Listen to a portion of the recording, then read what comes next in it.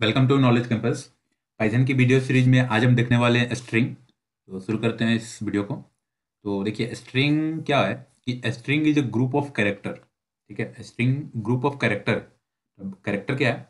देखिए, दोनों में डिफरेंस है। अगर जैसे मैंने लिखा आलोक, ठीक है? तो ये कंप्लीट आएगा स्ट्रिंग ठीक है? इसमें जो एक एक लेटर है, उसको बोलते हैं कैरेक्टर ए एक कैरेक्टर है एल एक कैरेक्टर है ओ एक कैरेक्टर है एंड के एक कैरेक्टर है. तो एक जो स्ट्रिंग होता है, बहुत सारे कैरेक्टर से मिलकर बना होता है. ठीक है? इसलिए स्ट्रिंग को क्या बोलते हैं? ग्रुप ऑफ़ कैरेक्टर बात क्लियर होगी कि स्ट्रिंग क्या होता है? एंड कैरेक्टर क्या होता है. अब देखिए, जो स्ट्रिंग होता है, उसको हम एज इट इज़ ऐसे नहीं लिख देते हैं. ठीक है? इसको हम क्या करते हैं? सिंगल कोट में इंक्लोज करते हैं. मतलब सिंगल कोट के अंदर लिखते हैं. सिंगल कोट लगा सकते हैं, या आप डबल कोट लगा सकते हैं, या आप डबल कोट थ्री टाइम्स लगा सकते हैं, ठीक है? या आप सिंगल कोट थ्री टाइम्स लगा सकते हैं, ठीक है? ये आपके पास तीन मेथड, चार मेथड है बेसिकली कि स्ट्रिंग को कैसे रिप्रेजेंट करना है, ठीक है? Single quote, double quote triple quote triple quote में सिंगल कोट भी यूज़ कर सकते हैं, डबल कोट भी यूज़ कर सकते हैं। आई थिंक क्लियर हो गया होगा। अब मैं इसको थोड़ा सा और अच्छे से बताता हूँ कि इसका यूज़ क्या है। देखिए single quote and double quote का तो सेम यूज़ है, कोई खास डिफरेंस नहीं है। ये जो ट्रिपल कोट है, इनका यूज़ है मल्टीपल लाइन स्ट्रिंग को रिप्रेजेंट करने का। जैसे आपको कुछ ऐसा लिखना है जो मल्टीपल लाइन में जा रहा है, एक से ज़्यादा लाइन में, दो, तीन, चार, पाँच लाइन में जा रहा है, ठीक है? तो वैसे स्ट्रिंग को रिप्रेजेंट करने के लिए हम ट्रिपल कोट यूज़ करते हैं। आप सिंगल भी यूज़ कर सकते हैं या डबल भी यूज़ कर सकते हैं, ठीक है? उसमें कोई इशू नहीं है। तो मैं इसको थोड़ा सा अच्छे से रिप्रेजेंट कर लेता हूँ। इससे मैंने नेम लिखा, ठीक है? तो नेम मैंने लिखा आलोक। तो ये आपका सिंगल कोट में लिख लिया। अब एक्चुअली मैं इसका फ़र्स्ट नेम कर देता हूँ। फ़र्स्ट नेम मैं लास्ट नेम लगा देता हूँ, लिख देता हूँ। एंड इसको मैं क्या करता हूँ सिंगल कोट में लिखता हूँ। First name and last name तो ये एक स्ट्रिंग हुआ, ठीक है? ये पूरा एक कंप्लीट स्ट्रिंग है। स्ट्रिंग को रिप्रेजेंट करते हैं सिंगल कोट या डबल कोट में तो ये फ़र्स्ट नेम क्या हुआ ये ये एक वेरिएबल है जो इस स्ट्रिंग को पॉइंट कर रहा है, ठीक है? लास्ट नेम ये एक वेरिएबल है जो इस स्ट्रिंग को पॉइंट कर रहा है। सिंगल कोट हो गया डबल कोट हो गया। अब अगर आपको ट्रिपल कोट लिखना है, जैसे मैंने लिख दिया num equal to single triple quote मैंने लगाया एंड लिखा माई नेम इज़ आलोक राज ये ट्रिपल कोट में हमने लिखा। ये इसके बाद आप कुछ लिख सकते हो, मेरे पास जस्ट एक सिंपल से एग्ज़ाम्पल तो ये मैंने क्या किया? तीन मतलब मल्टीपल लाइन में लिखा। एंड ये सारे स्ट्रिंग यहाँ से जो स्टार्ट हो रहा है, यहाँ से स्टार्ट होते हुए, यहाँ पे एंड हो रहा है, यहाँ से यहाँ तक, ठीक है? यहाँ से यहाँ तक, ये जो स्ट्रिंग है, ये किसमें स्टोर हो रहा है? ये, इसमें। इसको मैं नम नहीं घटा कर मैं नेम ही लिख देता हूँ। नेम अब इसको अगर आपको प्रिंट करना है तो आपको सिंपल पता है कि कुछ भी प्रिंट करने के लिए हमारे पास प्रिंट फ़ंक्शन है।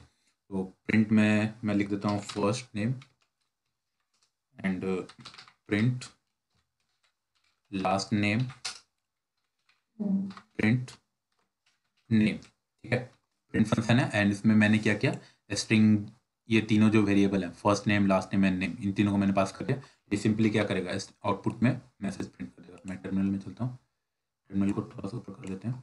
एंड यहाँ पे लिखना होता है पाइथन पाइथन लिखने के बाद हमें अपने फ़ाइल का नाम लिखना होता है। फ़ाइल का नाम हमारा है K C twenty two dot P Y देखिए, ये पहला फ़र्स्ट नेम की वजह से आया, ठीक है? ये लास्ट नेम की वजह से आया एंड ये नेम की वजह से आया। आप यहाँ पे लिख भी सकते हो अगर आपको कंफ्यूजन हो रहा है कि वही फ़र्स्ट नेम है या लास्ट नेम है तो मैं लिख देता हूँ। First name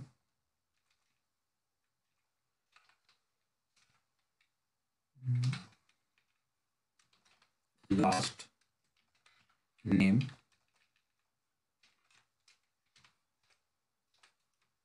and name इसको मैंने सेव किया.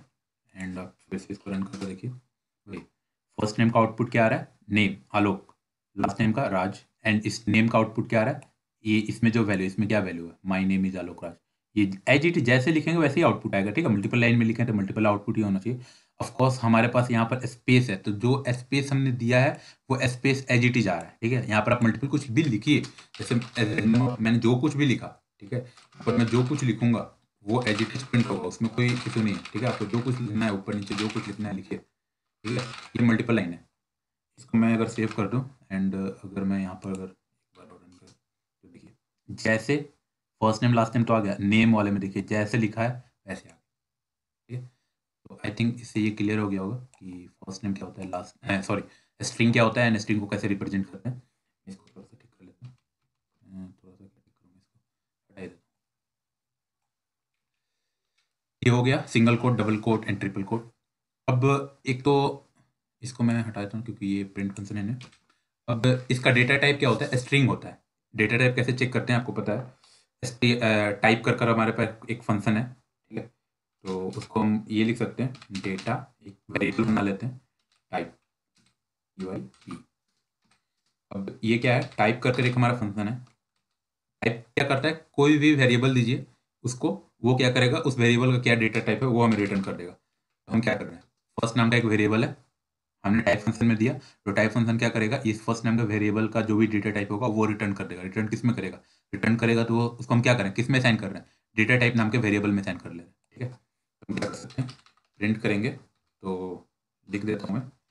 Data type of first name इसमें आया है डेटा टाइप में आया या आप डायरेक्टली ये भी कर सकते हो कि प्रिंट में ही आप, जैसे यहाँ पर ही पास कर दो, लिख दो टाइप और टाइप किसका चाहिए आपको? लास्ट नेम चाहिए ना लास्ट नेम तो आप यहाँ पर एक काम कर सकते हो कि एक मैसेज दे दो, जिससे पता चलेगा कि किस चीज़ का डेटा टाइप है। तो लास्ट नेम का डेटा टाइप है data type of last name मैंने सेव किया एंड इसको रन करते हैं। थोड़ा सा ऊपर एंड पाइथन के सी ट्वेंटी टू है ना twenty two dot P Y देखिए फ़र्स्ट नेम लास्ट नेम तो इस इस प्रिंट के वैसे आ रहा है। डेटा टाइप क्या है? Data type of first name class S T R ठीक है? तो इसका डेटा टाइप क्या होता है? एस टी आर होता है। तो आई होप ये चीज़ आपको क्लियर होगी। थोड़ा सा स्ट्रिंग जो है, छोटा टॉपिक नहीं है, लंबा टॉपिक है तो एक एक चीज़ को आपको अच्छे से क्लियर करना होगा, ठीक है? क्योंकि बाद में ये काफ़ी चीज़ें यूज़ होती हैं। तो एक एक चीज़ अगर क्लियर रहेगा तो आपको कब क्या यूज़ करना है, आपको याद आ जाएगा, उसमें ऐसे कुछ याद करने वाली चीज़ नहीं कि ये भी हमें याद रखने भी। बस आपको ये पता होना चाहिए कि ऐसा कुछ होता है। जब ज़रूरत होगा तो आपको ऑटोमेटिक दिमाग दिमाग में हिट करेगा हाँ ऐसा कुछ होता है। अच्छा होता है, ऐसे। एक होता है कि एस्केप सीक्वेंस ठीक है? मैंने पिछले वीडियो में, कुछ पहले वाले वीडियो में बताया कि एस्केप सीक्वेंस होता क्या है, ठीक है? Backslash N backslash E back U V sorry V होता है। तो ऐसे बहुत सारे हैं। तो उसको जैसे मैं अगर यूज़ करूँ, मैं यहाँ पर नेम इक्वल टू एंड लिखूँ मैं my name is backslash N इससे क्या होगा इस बैकस्लैश एन से क्या होता है न्यू लाइन आता है, ठीक है? बैकस्लैश एन का मतलब होता है न्यू लाइन तो ये क्या करेगा? नेम नाम के वेरिएबल में आएगा. माई नेम इज़ एंड इसकी वजह से कर्सर हमारा चला जाएगा दूसरे लाइन में, ठीक है? न्यू लाइन होता है इसकी वजह से. कर्सर हमारा प्रिंट करेगा माइन इम इज़ एंड जैसे ये वाला प्रिंट करेगा, इसकी वजह से कर्सर का कंट्रोल चला जाएगा सेकेंड लाइन में न्यू न्यू लाइन में, ठीक है? एंड फिर वहाँ पर प्रिंट हो जाएगा आलू क्रश तो मैं इसको हटा देता हूँ डेटा टाइप वाले को। समझ में तो आ गया क्या था? क्योंकि सबको रखूँगा तो प्रोग्राम बहुत लंबा हो जाएगा। आउटपुट में वैसे ही दिक्कत होगा वो मैंने इसको तो प्रिंट ही नहीं किया। प्रिंट ही नहीं किया। प्रिंट प्रिंट कर लेते हैं नेम को। देखिए, यहाँ पर थोड़ा सा देखिए, इसको थोड़ा सा मैं ऊपर कर लेता हूँ। समझ में आएगा, देखिए। इसको मैं अभी नेम वाले वेरिएबल का बात कर रहा हूँ। माई नेम इज़ लिखना था, उसको वजह से ब्लैक बैक स्लैश एन की वजह से न्यू लाइन में कर्सर आ जाएगा, उसके बाद आ जाएगा आलोक राज वही आएगा माई नेम इज़ और यहाँ पर एक स्पेस इसलिए आ रहा है, यहाँ पर एक स्पेस इसलिए आ रहा है, क्योंकि यहाँ के, यहाँ पर भी एक स्पेस है। ये देखिए ए और एन के बीच में एक स्पेस है, ठीक है? इसकी वजह से वहाँ पर एक स्पेस आ रहा है। अगर मैं इस स्पेस को अगर हटा दूँ तो ऐसे कर दूँ मैं फिर अगर रन करो तो देखिए आपको स्पेस नहीं आएगा, ठीक है? एम के नीचे जो ये पहले स्पेस आ रहा था एम के नीचे। मेरा दिख रहा है? एम के नीचे एम के नीचे देखिए। एम के नीचे ये जो स्पेस आ रहा था, वो नहीं है अभी, ठीक है? तो यहाँ पर बैक स्लैश एन की जगह बैक स्लैश टी भी लिख सकते बैक स्लैश यू भी लिख सकते जितना मैंने पहले स्केप सीक्वेंस बताया, इसको स्केप सीक्वेंस बोलते हैं, ठीक है? स्केप कैरेक्टर भी बोलते हैं इसको। तो यहाँ पर अब टी लिख दोगे तो क्या होगा? एक टैब का डिस्टेंस मिल जाएगा आपको। जैसे यहाँ पर न्यू लाइन में आ रहा था ना ये माई नेम इज़ एक अलग लाइन में आलोक राज एक अलग लाइन में, अभी क्या होगा? एक टैब मिल जाएगा। एक टैब का डिस्टेंस ठीक है? इतना डिस्टेंस मिल गया। अभी आप इसको बहुत सारे हैं ट्राई कर लेना। सबका मैं एग्जांपल दूँ मतलब करके दिखाऊँ थोड़ा सा डिफ़िकल्ट हो जाएगा। एक क्या है कि अगर आप चाहते हो कि ये जो भी एस्केप सीक्वेंस है, मैं लिखूं, लेकिन उसका इफ़ेक्ट ना हो। ठीक है? इफ़ेक्ट ना हो मतलब कि जैसे मैंने टी तो लिखा, लेकिन ये बीच में जो स्पेस आ रहा है, वो ना आए। ठीक है? तो वैसे को यहाँ पर आपको लिखना होगा आर केवल आप आर लिखिए, यहाँ पर प्रिंट कीजिए। देखिए, वो as it is backslash T as it is print हो गया। तो ये कब यूज़ होता है? ये तब यूज़ होगा, जैसे आपको मान लीजिए कोई पाथ फ़ाइल फ़ाइल का जो पाथ होता है, उसमें बैक स्लैश एन है कुछ मतलब बैक स्लैश है एंड आपका फ़ाइल का पाथ कोई फोल्डर का नाम एन से स्टार्ट हो रहा है तो क्या करेगा? बैक स्लैश एन को रीड करके वो न्यू लाइन में चला जाता है। ठीक है? तो उसकी वजह से आपका कंप्लीट फ़ाइल प्रिंट नहीं हो पाएगा। फ़ाइल का जो पाथ होगा, वो प्रिंट नहीं हो पाएगा। तो उसके लिए हम यूज़ करते हैं यहाँ पर आर आर का मतलब हो जाता है रॉ स्ट्रिंग ठीक है? अभी जी जिस स्ट्रिंग जैसे यहाँ से यहाँ तक तो ये स्ट्रिंग था ना, ठीक है? जिस स्ट्रिंग के पहले अगर हम आर लगा देंगे तो उस स्ट्रिंग को बोलेंगे रॉ स्ट्रिंग रॉ स्ट्रिंग का मतलब हुआ कि जैसे मैंने दिया, वैसे ही आपको एजिटिज प्रिंट कर देना है, या वैसे ही उसको एजिटिज ट्रीट करना है। उसमें अपना कुछ भी जो स्केप कैरेक्टर होंगे, उसको अंडरस्ट मतलब उसको समझना नहीं है कि उसका मीनिंग क्या है, ठीक है? जैसे यहाँ पर बैक स्लैश अगर मैं इसको आर ना दूँ तो ये क्या करेगा? बैक स्लैश टी को अंडरस्टैंड करेगा कि उसका मीनिंग क्या है एंड फिर उस मीनिंग के अकॉर्डिंग आउटपुट देगा। ठीक है? एंड देखिए आप कलर भी चेंज हो रहा है। ठीक है?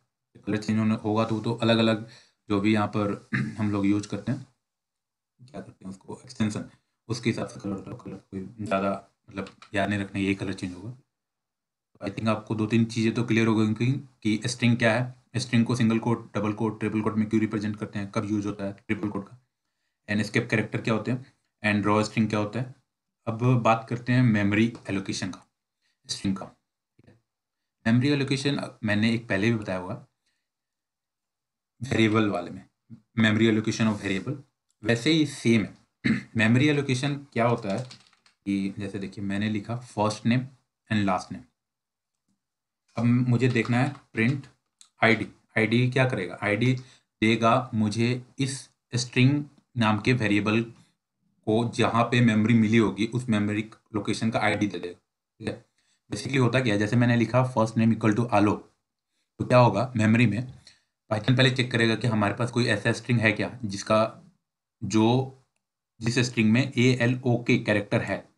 अगर नहीं है तो क्या करेगा? एक मेमोरी एलोकेट करेगा। उस मेमोरी में इसको स्टोर करेगा। देन उस मेमोरी के जो मेमोरी एड्रेस होगा, उसको इस फ़र्स्ट नेम से टैग कर देगा, ठीक है? या यूँ कहिए कि वो मेमोरी एड्रेस इसमें आ जाएगा, ठीक है? फिर जब ये लाइन चलेगा तो पाइथन फिर से देखेगा कि क्या ऐसा कोई हमारे पास स्ट्रिंग है जिसमें यही वर्ड आता है ए एल ओ के आता है। पाइथन केस सेंसिटिव है। कैपिटल ए ही आना चाहिए, ठीक है? ये ध्यान रखना। Capital A small L small O and K आता है।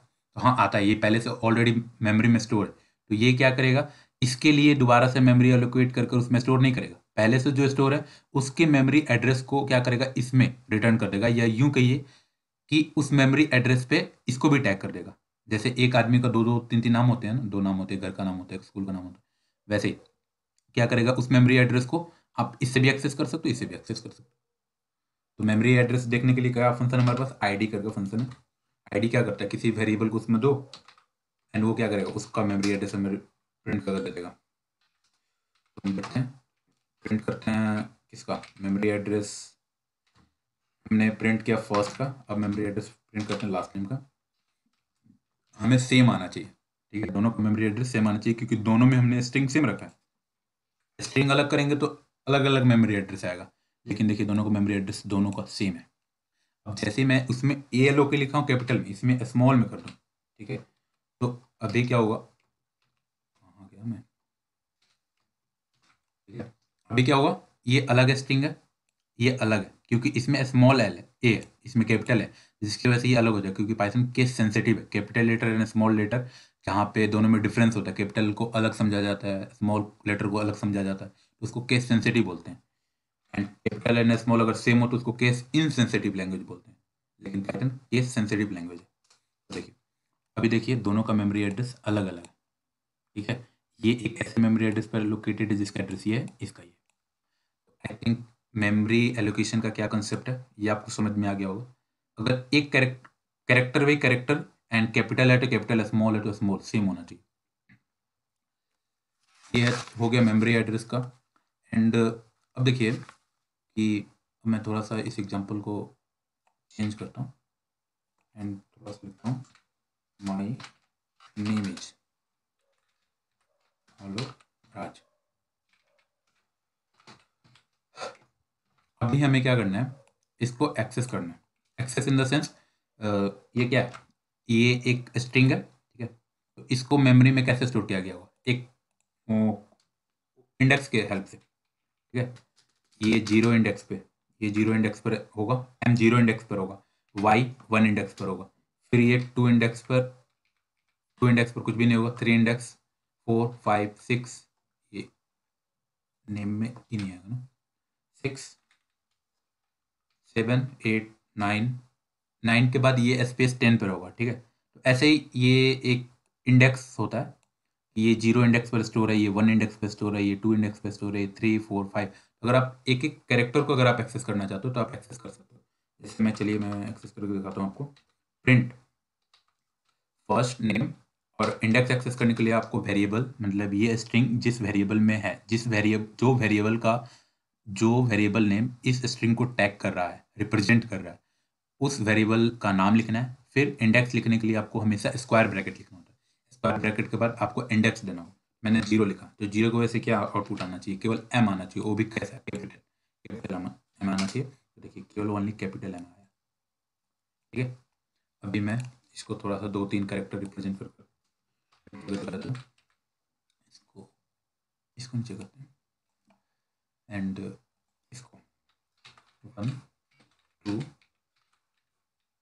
sorry three and four तो देखिए। देखिए, पहले पे ज़ीरो पे एम वन पे वाई टू पे स्पेस है। तो देखिए ज़ीरो वन टू पे क्या स्पेस है। ठीक है? स्पेस प्रिंट हुआ है। वाई के नीचे देखिए स्पेस है ये। स्पेस है पूरा। ठीक है? थ्री पे एन एंड फोर पे ए एक एक कैरेक्टर को अगर आप एक्सेस करना चाहते हो तो आप इंडेक्स की हेल्प से कर सकते हो। अब देखिए, मैंने आपको पीछे वीडियो में, पिछले वीडियो में लूप पढ़ाया हुआ है फोर लूप बताया हुआ है।